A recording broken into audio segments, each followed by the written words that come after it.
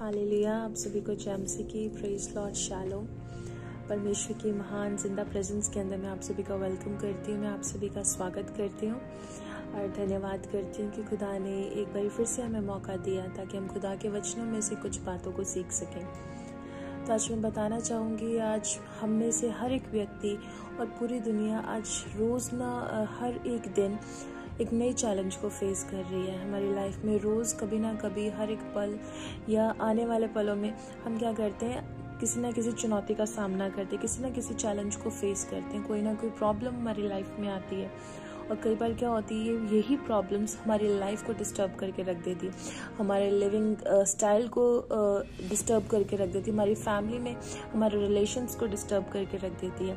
तो आज मैं आप लोगों को इस वचन के साथ इनक्रेज करना चाहूँगी, इन बातों के साथ इनक्रेज करना चाहूँगी कि अपनी परिस्थितियों को, अपने हालातों को, अपनी समस्याओं को अपने पर हावी ना होने दें, बल्कि खुद उन पर हावी हो जाए। हाल ताइए मिलकर एक वचन को पढ़ेंगे, पहला थिसलोनी क्यों पाँच अध्याय, उसकी सोलह आयत से, सदा आनंदित रहो, निरंतर प्रार्थना में लगे रहो, हर बात में धन्यवाद करो, क्योंकि तुम्हारे लिए मसीह यीशु में परमेश्वर की यही इच्छा है। हालेलुया। परमेश्वर के सुंदर वचन के लिए धन्यवाद करते हैं और परमेश्वर का वचन हमें इसमें बताता है कि सदा आनंदित रहो। सदा आनंदित रहो से क्या मतलब है? चाहे हमारी परिस्थिति जैसी मर्ज़ी क्यों ना हो, चाहे हम किसी दुख से निकल रहे हो हो सकता है हमारी लाइफ में ऐसी परिस्थितियाँ जिनमें शायद हम खुश रहने के बारे में सोच भी नहीं सकते हैं। हमारी फैमिली में वो प्रॉब्लम हो सकती है, हो सकता है आपके बिज़नेस में कुछ ऐसी प्रॉब्लम चल रही हो, आपके फैमिली में कोई प्रॉब्लम चल रही हो। किसी भी तरह से फाइनेंशियली हो सकता है आप किन्हीं प्रॉब्लम्स का सामना कर रहे हो।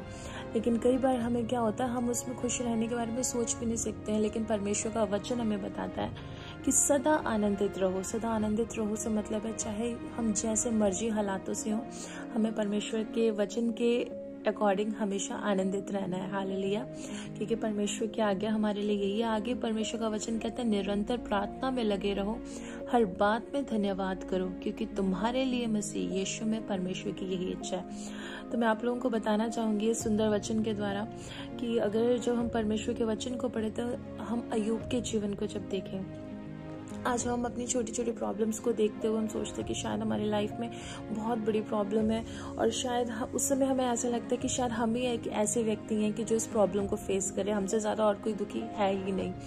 लेकिन जब हम दुनिया में जाएँ तो अगर हम अपने आस पड़ोस में किसी से पूछें तो हमें उनकी प्रॉब्लम सुन के हमें अपनी प्रॉब्लम तब छोटी लगती है।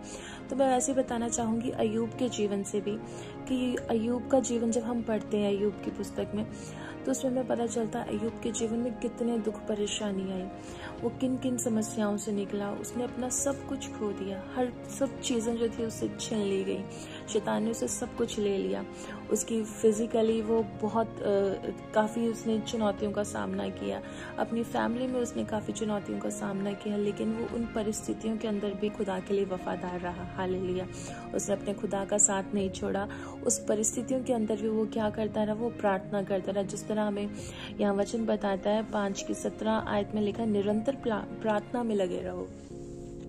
तो ये वचन हमें प्रार्थना करने के लिए उत्साहित करता है और अयुब का जीवन हमारे लिए बहुत बड़ा एग्ज़ाम्पल है, जिसमें हमें पता चलता है, चाहे हमारी जैसी मर्ज़ी परिस्थिति क्यों ना हो, लेकिन जब हम प्रार्थना करते तो प्रभु हमारी दुआओं को सुनता है, क्योंकि परमेश्वर का ध्यान, उसके कान हमेशा अपने लोगों की ओर लगे रहते हैं। हाल और एक और वचन मैं आप लोगों को बताना चाहूँगी। बाइबल में से एक और ऐसे लोगों के बारे में बताना चाहूँगी, जिन्होंने अपनी परिस्थितियों को, अपने हालातों को बदल दिया। किस तरह बदला? उन्होंने प्रार्थना के द्वारा, अपनी आराधना के द्वारा अपने हालातों को बदल दिया। और हम में से बहुत से लोग हैं जो इनका नाम जानते हैं। पॉलिस और सिलास के बारे में हम में से बहुतों ने सुना है।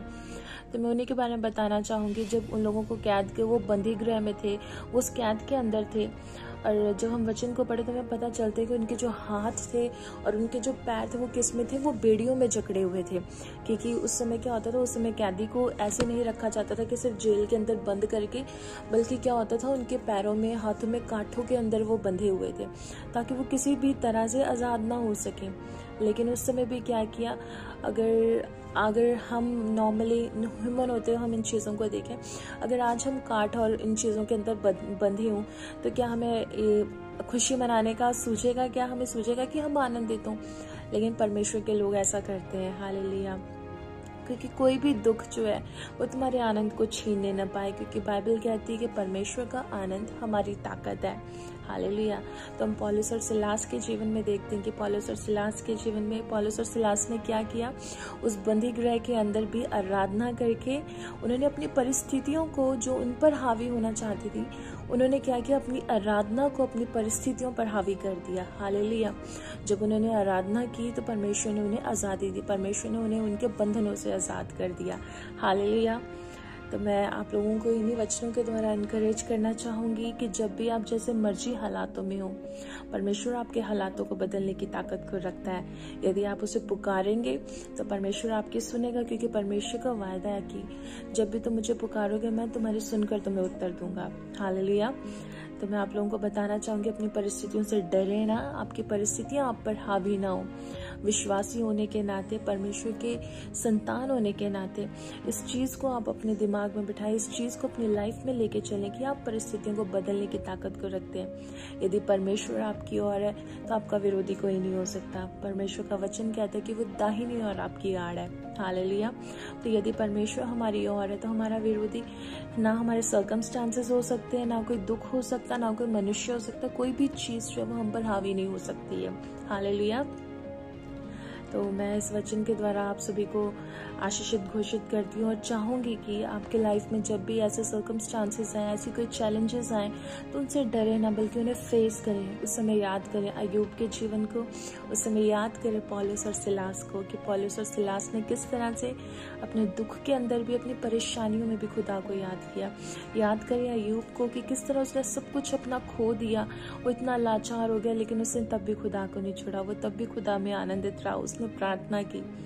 क्योंकि मैं इसी के साथ एंड करूँगी। जो पहला थिसलोनी के पाँच अध्याय, उसकी अठारह आयत में लिखा हर बात में धन्यवाद करूँ क्योंकि तुम्हारे लिए मसीह यीशु, में परमेश्वर की यही इच्छा है। हाल तो परमेश्वर भी हमसे यही चाहता है कि हम हमेशा आनंदित रहें, हमेशा प्रार्थना करते रहें, और हर एक परिस्थिति के लिए, हर एक बात के लिए हम क्या करें? हमेशा प्रभु का धन्यवाद करें, क्योंकि परमेश्वर की यही इच्छा है हमारे लिए। आज हम जब खुश होते हैं तो तो हम प्रभु को थैंक्स करते हैं क्या हम अपने बुरे हालातों में भी खुदा को धन्यवाद करते हैं।